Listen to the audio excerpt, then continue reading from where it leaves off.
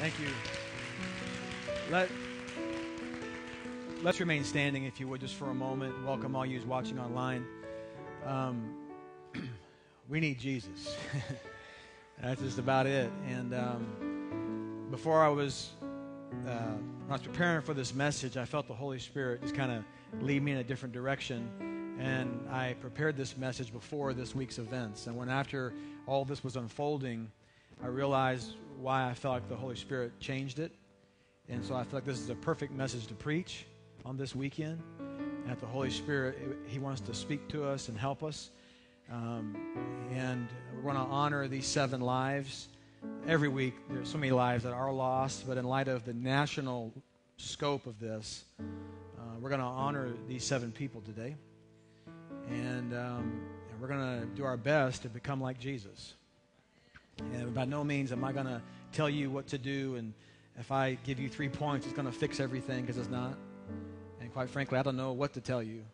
This is so deep and so embedded in our country that it's only going to take God to raise us up as a church, as a people, to love and to do this. So I would never assume that role just to give you quick answers and kind of preach at you. That's totally insensitive. But I do believe what the Bible says. And I believe God's given our church a unique platform um, to come together racially.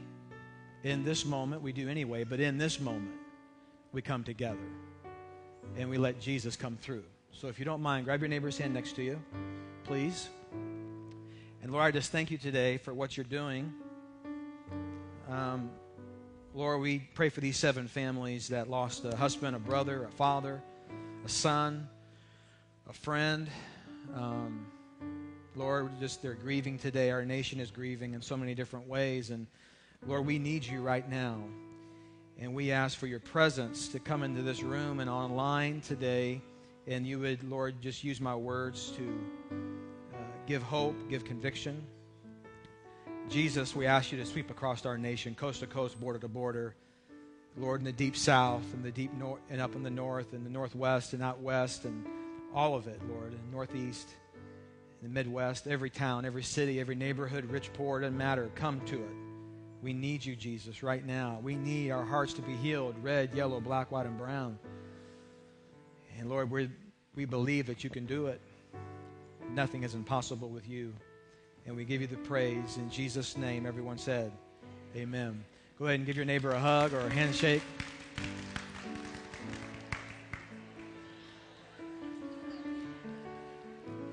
May be seated today. We're in the second week of our series, Coloring Inside the Lines. And here in a moment, I want to set this message up. I'm going to use this cross as a prop, and then I'm going to segue in. I, I do, I feel like it's my responsibility to address the issues that happened this week and come from a scriptural perspective so that we are empowered to do something. And so I'm going to do that today. So if you want to open your Bibles to Matthew 23, verse 23, or just follow me on the screen here in just a moment, my message is entitled Magic Kingdom.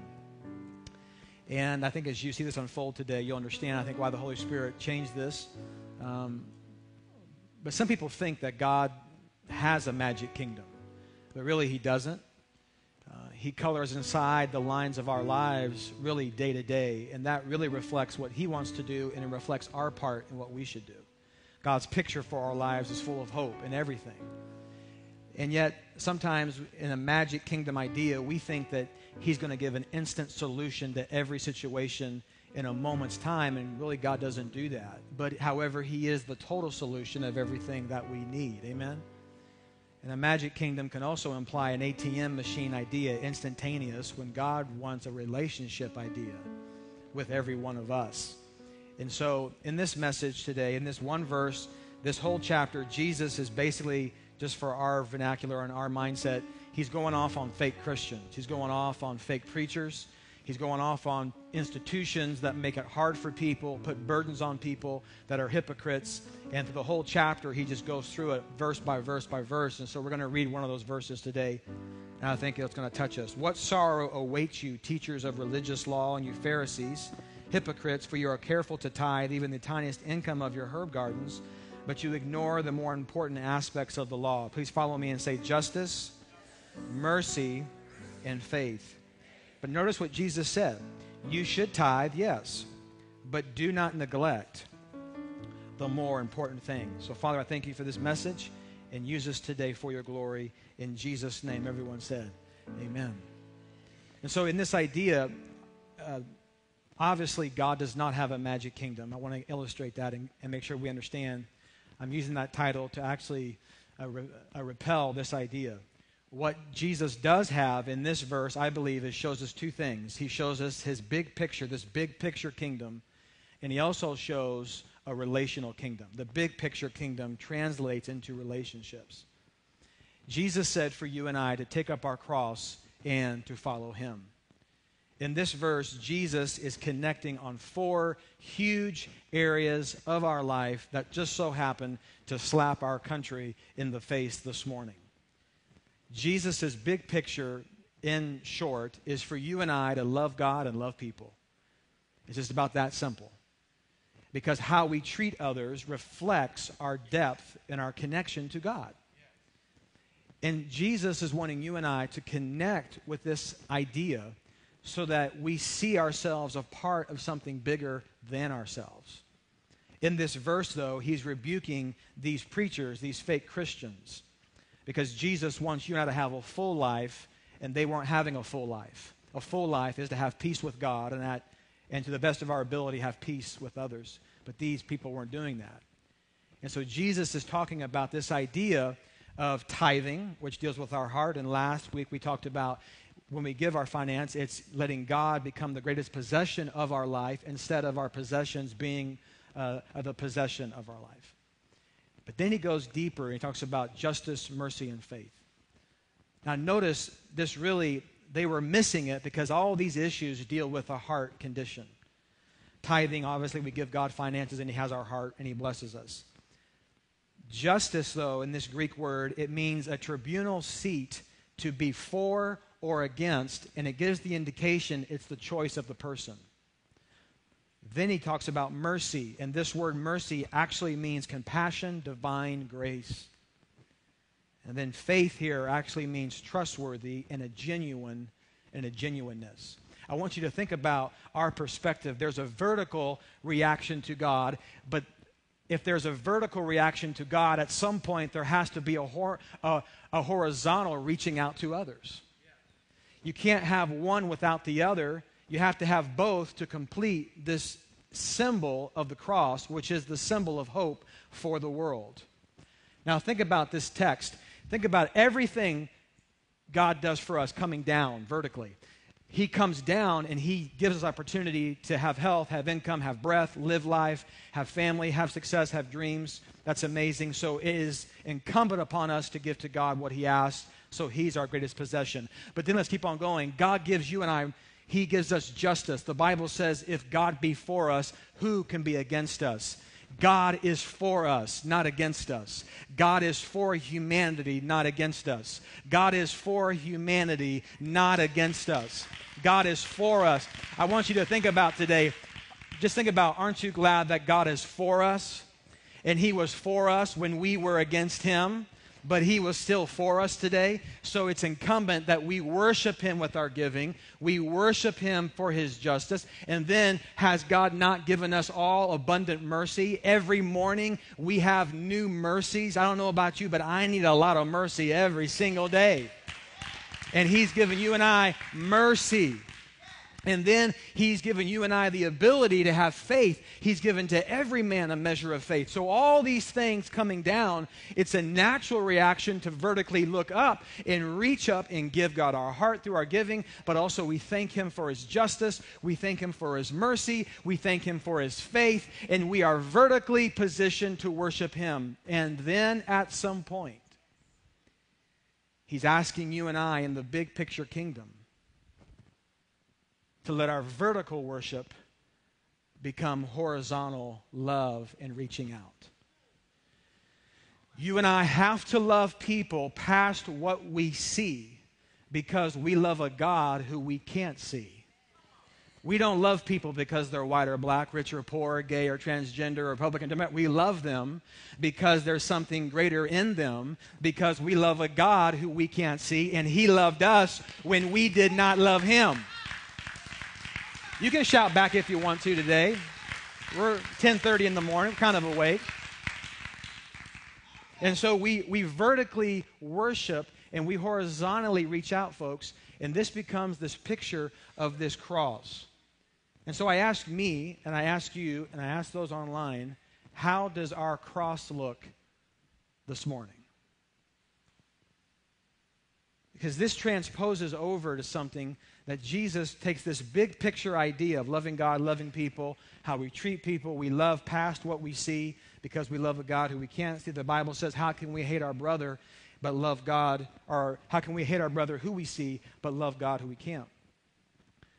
This whole thing is based on relationships. This is a relational kingdom. And Jesus is wanting you and I to embrace this idea, but the relational kingdom is very difficult. Please hear this. Re- this relational kingdom idea requires and produces life change. And this is why you and I prefer this magic kingdom, because I notice this the magic kingdom gives everything in a moment, it takes the relationship part out. The magic kingdom gives us something without us changing in the process, and it's in a day instead of it being walked out day by day. And I'm going to segue here. This is what's translating in our nation right now. The, the, the cultural divide is so deep and so complicated that there is no quick answers. However, Jesus wants to be the solution not only for our life, but coming through our life for others to have hope as we have hope. And I, and, and, and I want you to think about this today, and I want to do something here in just a moment. I'm going to read these seven names two African American men, four white policemen that were killed this week. And, and this may make you uncomfortable today, and, I, and I'm not trying on purpose, but maybe the Holy Spirit is. Because He's wanting you and I as a church to arise and to embrace our cross so that we vertically are loving and we're horizontally reaching out. I am going to ask everyone in this room to take a step of courage, whatever you want to call it, and think of Alton Sterling and Philando Castile not as two black men, but as two men that are killed, that were killed. I challenge all of us to think about if that was our husband, our father, our brother, our best friend. Because notice what the world wants and what the enemy wants is for us to be detached from one another based on cultural stuff or I don't understand or this. And Jesus has no part of that. Jesus wants all of us. We may never agree on every point, but He never told us to agree on every point. He just told us to be in unity and to love one another as He loves us. And so while you and I, as humans, tend to detach ourselves from things we don't understand, and we tend to say, well, you know, well, that was, you know, this, and I don't get it, and I'm not here to get political, but, but, but this is it, folks. We don't look at it as, well, you know, they were this or they were that. No, these are two fathers gone. And what if our dad was gone? I want us to feel the reality of what other people feel, and our perspective isn't the only perspective, and our reality isn't the only reality. And I want us to understand that this vertical worship is to produce this horizontal respect and love. Jesus never called the church to make a point, He's called the church to make a difference. And when you and I are arguing and we're fighting over differences and making points, we're not making a difference because when I listen and respect and seek to understand, our hearts open up to one another, and then we can hold hands in, in, the, in, the, in the bond of faith and begin to make a difference. So I want to honor today Alton Sterling, Philando Castile, two African men killed, five white policemen gunned down, Brent Thompson, Michael Krol, Patrick Zamarripa, Mike Smith, and Lon Ahrens. Jesus is asking you and I to not detach and get political and bicker and go tit for tat, but to instead embrace the symbol of the cross and vertically worship and horizontally begin to do what this verse is asking you and I to do. Notice in this picture I captured from CNN, I want them to show it here. And this is a, pow- it's a, it's a potent picture. Who can heal America? And Pastor Kim saw a picture when the cops were being shot at. There was an African American, Hispanic, white, and a fourth cop all huddled together behind a car trying to survive. And what hit me out of this picture is when tragedy strikes, it doesn't matter where we're from anymore. It brings out the humanity of who we are. And I love this. this is in Dallas, of course, and this police officer crying, holding a white woman. This is a great image, though, of what God is wanting to do. Not that we all have to hug each other all the time, but this is about you and I opening our hearts so that we can be the church and reflect the love of God to a very complex and painful and serious issue. And so, what the enemy wants to do is to take you and I and divide us and splinter us, and you don't know, and blah, blah, blah. And this was a you know, bad guy, and this was a bad guy. And I want to say this we should never drink the Kool Aid to vilify to justify someone being killed.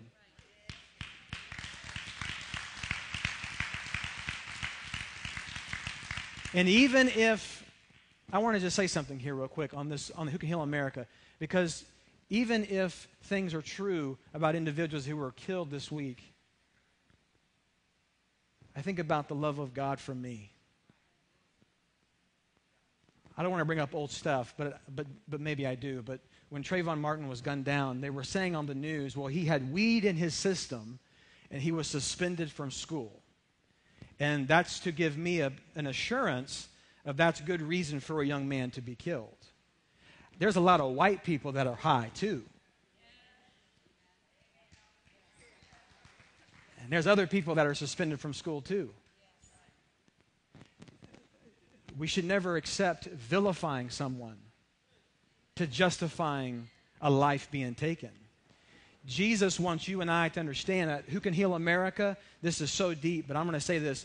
I, am not trying to dumb it down because people feel fear right now, and we need to respect that, and they feel pain. And Jesus is the answer in the cross, this symbol of the cross, well, I do not have a one, two, three homily to help us know what to do. I don't know what to do, but I do know that if you and I will vertically worship and horizontally begin to reach out and simply exemplify Jesus, I believe our lives and the lives of others can get better. That the racism we've been taught can be unplugged out of our heart and we can love God who we can't see. We can love our brother who we can't see and we can see people past black, white, red, yellow, rich, poor, and we can reach for them with the love of God. Why? Now, here's why. Because in this relational kingdom, here's what Jesus is asking us to do. Yes, we tithe. I want to encourage you, if you, you know, yes, take that step. Let God be your greatest possession, and He will bless you. And let's go further. Justice. Please know, Jesus is for justice. Jesus is for justice. God is for humanity. The Bible is full of verses about the widows, the orphans, the marginalized. Read the scripture. He is for educational gaps. He is for the poor. He is for marginalized groups. Jesus wants justice for all. Thank you for the great amens, but He does. And God is for us, not against us. So, what He wants us to do, folks, is vertically we worship with in many ways. In this verse, one of them is tithing. But now, horizontally, we can't just vertically worship without eventually starting to reach out. And so he's wanting us to vertically worship, and horizontally, we give justice. We are for people. We are for all people. We love all people. We don't have a checklist. Well, they check, check, check. Now I love them. While I was a sinner, Jesus died for me. Therefore, this may shake you up. Come on, stay with me, stay with me.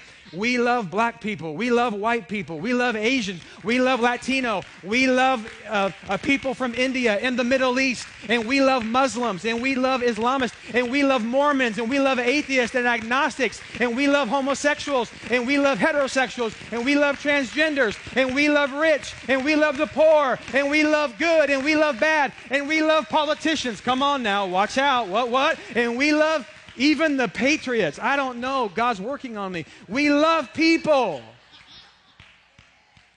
Period. And we are and we horizontally we, we give justice because God is for us. We are for them. And I want us to be honest today and come out of the shadows of our upbringing, out of the shadows of our opinions, out of the shadows of our churches, out of the shadows of blah, blah, blah. And let's feel what our country is feeling and feel what different people are feeling because Jesus feels how we feel. He knows how we feel. So we do our best to reach out and say, Explain to me what you're feeling so that I can take my cross and vertically worship and horizontally reach out. I'm asking this congregation, I cannot control anything, but I'm asking you online and at City Church, I'm asking us as white people to please talk less. And I'm asking us to listen and to respect that people that are not white, maybe proven over time, have different experiences than we do.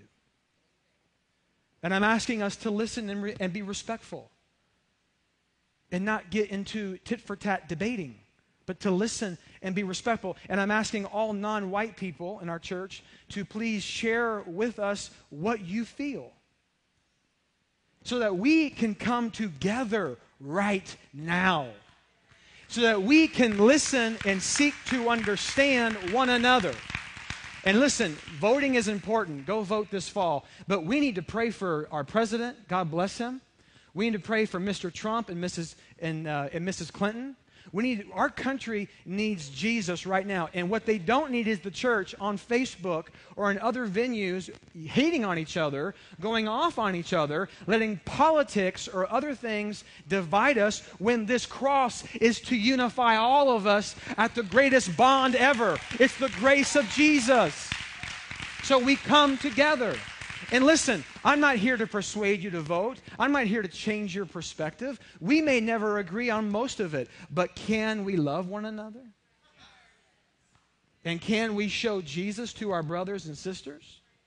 And shouldn't we arise and take up our cross and follow him? Because Jesus is not a Baptist Jesus. He's not a Pentecostal Jesus. He's not a Catholic Jesus. He's not an American Jesus. He's just Jesus for all people, all over the world, all backgrounds, all demographics, all conditions, all records. He's just Jesus. Therefore, I vertically worship and I horizontally seek to reach out, and I give justice for all. Let's go, and, and let's keep on going for time. Then I'm merciful. And again, like I said, Jesus said, be merciful. Don't ignore the more important things. This literally means compassionate, divine grace. Ladies and gentlemen, good God, haven't we all received divine grace? But here's the depravity of humanity. We do it, we all do it. We tend to select who deserves our compassion. Well, they are crackhead. They lost their house. They don't deserve our help. Well, they, you know, they, you know, I mean, they're a criminal. They don't deserve a second chance. And they did this, and they don't deserve that. Folks, that's our depravity. Oh, how quickly we forget who's looking back at us in the mirror. If it wasn't for the grace of God, where would we all be? Right? And let's just be honest. Come on now, let's be honest. Everyone in here looks nice and pretty and cute and handsome, trying to get somebody if you're not if you're not with someone. It's a good place to do it. Look right at me. Don't look at your neighbor. Look right at me. But, but, but follow me. We're all two steps away. Two from messing our life up. Where none of us are exempt from anything. How dare we think that we're above falling? None of us are above falling. So look at our depravity, though. Every human does this. We, we categorize people into ethnicity or, or, or economics or lifestyle or records, and, we, and then we gauge what they deserve. Folks, we don't deserve the love and the mercy of God that clothed you this morning while you were in bed. And so, therefore, we receive it and we give it away. We do our best. We're imperfect, but we give it away and we love and we go and we are the church. And you and I cannot solve all the problems. They're just so massive. What we can do is we all have a family, we all have a neighbor, we all have someone we live with, our next to, and we can begin to exemplify this vertical and horizontal to the people in our life, one person at a time, because most of us us will never be Oprah or Billy Graham or this or that, but you can touch one person in your life. And if you and I will vertically worship and horizontally reach out, Jesus can melt the hard heart of a racist. He can change the system of our country. He can change a family and a neighborhood. It may take time, but He can do it. I just am simple enough to believe. And then in closing, he said faith, and this actually means to be genuine and authentic here. And so our faith in Jesus is not to make us pompous and pious and judging and blah, blah, blah, and this and that and fighting. It's to make us genuine and authentic people. It's to make us more like Him. Read the Gospels. Jesus, how did Jesus handle people, folks? Look at the Gospels. How did Jesus handle people? There was a woman caught in the act of adultery, and He spared her. There was a man who was a thief, and he went to his house and redeemed him. There was a woman that had seven devils in her, and Jesus came and cast them out. Jesus connected to people, and he's asking you and I, as Christ followers, to connect to him and to connect to people. He's asking us to connect to Him and horizontally reach out to people. Who can heal America? I believe God can. But it doesn't happen by you and I sitting on a chair and saying, God, touch the white people. God, touch the black people. God, just touch our president. No, it, it, it's you and I getting up off the couch and we go outside to work and we go do and we take up our cross and we vertically love God and we horizontally treat people the way we want to be treated and we seek to love them and we seek to show justice, mercy, and faith to them because God has done it for us. In closing, I want to tell you the story. Hope this encouraged you today, challenged you.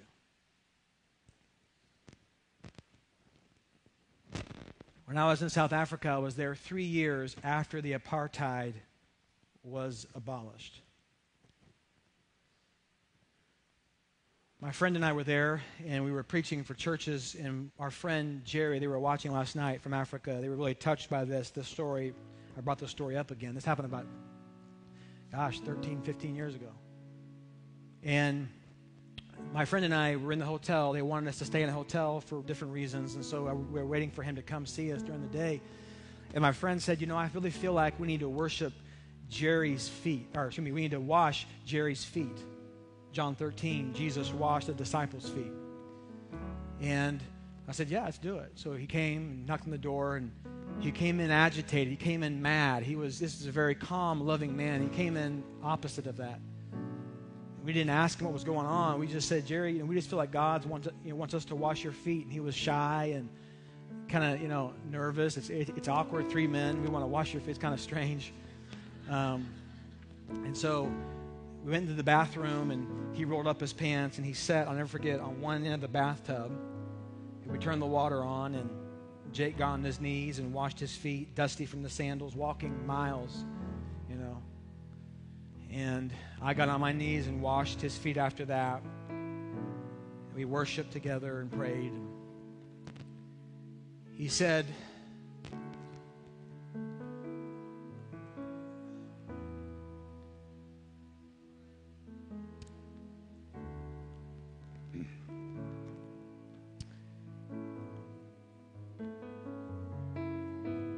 before he got to our hotel, he uh, stopped at a store. And this little kid and his dad were there in the store, and the kid looked at him and called him a monkey. And the father heard it and was looking at Jerry, seeing what he would do. And he said, When you wash my feet, the anger left. And just two white dudes that dumb enough to listen to God didn't know what happened to him somehow was used to get anger out. I've never been called a monkey. I don't know what that's like. But what if we would serve one another? What if we would do this today?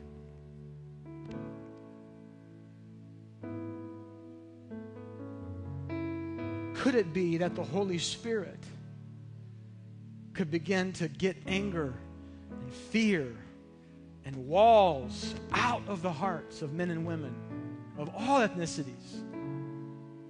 If we could vertically worship and horizontally begin to reach out and just do what Jesus said to do and choose to see our fellow man like God sees us, what could happen? I believe one person at a time could be healed by the love of God. This is our moment. God, God didn't bring us together, excuse me, at City Church to pat ourselves on the back and say we're together on Sundays. He's brought us together for this moment. We can't control our city, but we can control what we do. And we can mirror Jesus and see one life changed at a time for the glory of our God. If you believe in this Jesus, give him a great standing ovation. He's worthy. Come on, he's worthy. He's worthy.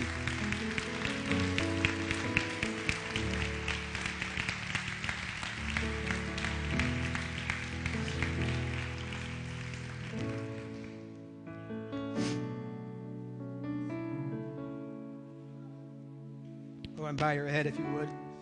Excuse me. Pardon me. Your head is bowed today, how many would say in this moment, online and in this room, I've never received Jesus and I want to receive him? Or you would say, I have received him, but I'm at a distance with God and I want God today in my life. Remember, He hasn't called us to make points. Anyone can do that. He's called us to make a difference. And your life can be raised up and God do great things through it. And you would say today you want Jesus for the first time or you want to recommit your life to him. If that's you in this moment, raise your hand to heaven at 10:30. I want to pray for you today. God bless you. God bless you. God bless you. God bless you. God bless you. God bless you. Six people coming to Jesus today. Isn't that awesome? God bless you. I see you over here.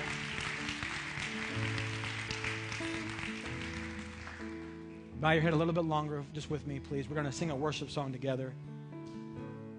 But I'm, I'm going to, I want to pray this for myself, and I want to ask you. Would, would you say, PD, I want my cross to look better? Uh, it's not a magic kingdom, it's a big picture relational kingdom. And I want my vertical to match my horizontal, and my horizontal to match my vertical. And I want to get the scales and the veils on my heart and eyes that, that, that I have received. And I want just to be like Jesus, small steps at a time.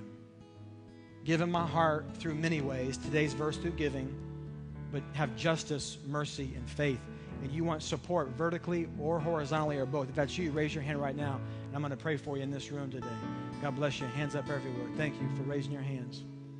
Follow me in this prayer so no one's left out. And please say, Lord Jesus, my heart is yours, and I come to you. Please forgive me for any wrong. I turn from it, and I walk towards you, and I move to you. Give me the courage to carry my cross in my heart towards you and my heart toward others. Giving justice, mercy, faith. I'm yours in the name of Jesus. I want Pastor Ann to sing this song. And as she sings it, if you just want to raise your hands and sing it with her, Jesus at the center of, the, of it all, and think about this message and how we need it today. Let's worship with her, and then I'll come back in just a moment. Oh, Jesus at the center of it all. Jesus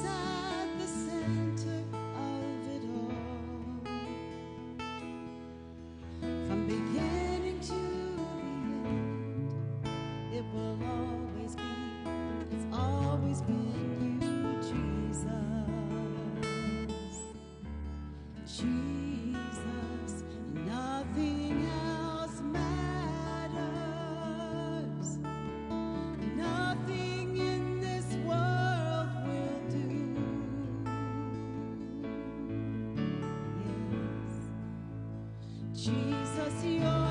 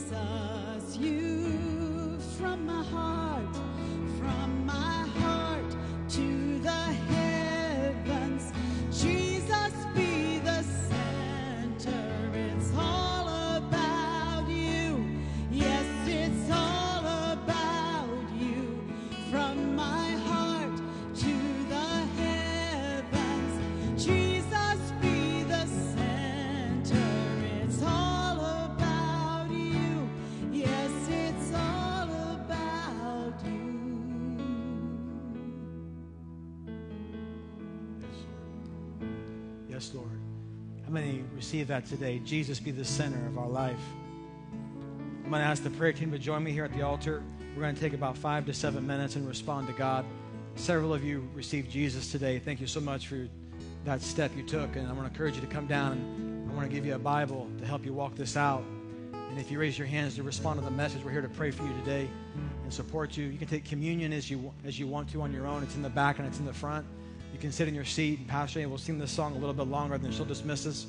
If you want to pray with your neighbor right in your seat, uh, not, well, I mean, you're welcome to do that. We need all the prayer we can get. And uh, just reach out. If you want prayer, come in the center aisle. If you want communion, you can go back or come down the side aisles. And uh, I pray you have a great week. I pray that we all put this into practice. And one step at a time, one person at a time. May the Lord bless you. May his face shine upon you. May the Lord be gracious to you. May he be good to you. And may he give you his peace. And may he give you the courage to carry our cross. In Jesus' name, let's respond to God.